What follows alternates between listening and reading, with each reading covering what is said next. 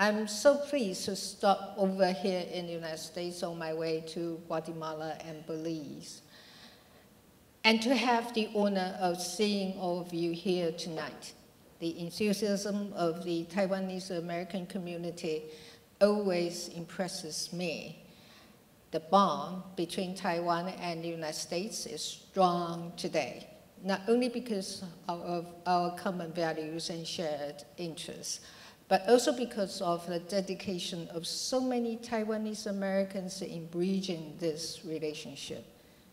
The Taiwanese people have been incredibly resilient, creating a beacon of democracy in Asia and a robust economy that is an indispensable part of global technology advances.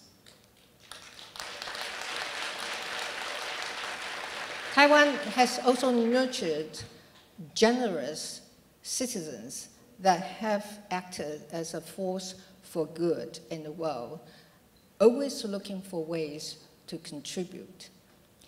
At this juncture, our partnerships with the United States and other democracies are more critical than ever. I don't need to remind you of the tremendous challenges that we face. And in facing these challenges, we know that we are stronger when we stand together in solidarity with fellow democracies. Taiwan cannot be isolated, and we do not take friendship for granted.